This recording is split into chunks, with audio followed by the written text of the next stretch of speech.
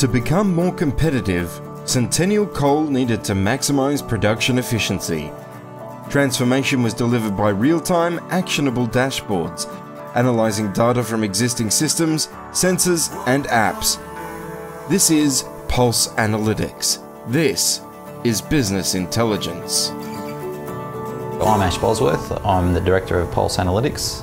When a client comes to us, we uh, go to their site, work with them about what their processes are, what their requirements are, uh, gather the information that they have available and turn that into a prototype product that they can review and then give us some feedback on within typically two to three weeks. There's a lot of gaps between what people want and what they can achieve. Even though the data's there, they can't get the visualisations or the, the, the value out of their information.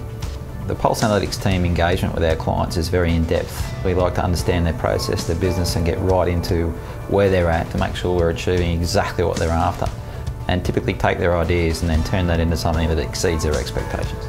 Pulse Analytics has been introduced across a variety of initiatives at our mine sites as part of our reporting and our data analysis. We look at it and view it every day, if not every shift. It's part of our tactical review management system and we do that through multiple levels of the mine site from the face level right through to team management. Centennial approached us with a problem they were experiencing with. Uh, they provided us with a um, sample set of data. Historically they've been struggling with trying to turn that into something useful. We see our role as taking that data and turning it into visual representation that the client can easily understand uh, at a KPI level where they're going, how they're trending, but then the ability to drill into that further so they can identify root causes if things aren't going well, or in fact if they are going well, why that's actually happening. We're experts at mining the coal and we're good at our mining processes and we're good at our machine engineering.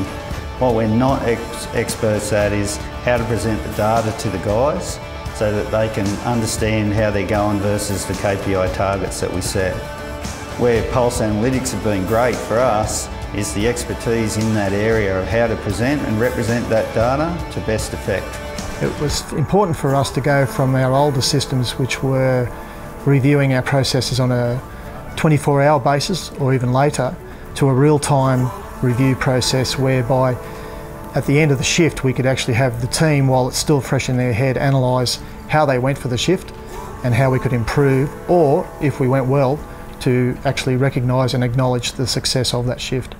Having a real-time system that is fed by machine uh, data and knowledge provides accurate information that then allows uh, shift managers and frontline leaders, crew leaders to be able to be confident in the information they're receiving and it furthers accountability and transparency in the, the shift review process. So following the end of a shift we can sit down with real data that's uh, the reflection of something that cannot be uh, faked or falsified in any way. Um, and we can sit down with our people and discuss where opportunities to improve are and where we could have had a better result the, the tactical reports that are automatically generated and processed through the system are quite visual, which is very, very good for us and our frontline leaders. We want to be able to see reasonably quickly without having to do a, lot of detailed analysis uh, where our big issues were and that's very, very easy to do with, um, with the, the visualisation, the colours and the bar charts. In my 32 years operational experience, I've found that miners are very competitive and if we give them the challenges, if we set the targets that are achievable, they'll go out and do their utmost to get them. And I find that through the tactical report that we're able to lay out that platform for them and that we find that it highly motivates our men it's interesting to see how it has fostered a competition between the shift managers and the shift leaders um, in terms of our performance, being able to see that our data is accurate, it's reliable, and then knowing that that is accurate and reliable means that we take much more of a keen interest in being able to say that we've beat the other, the other shifts.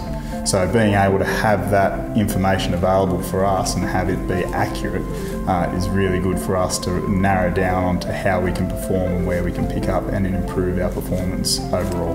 Our analytics tool is good for all levels of the organisation, from the CEO who is interested in KPI and trend charts and other um, graphical representations of their data.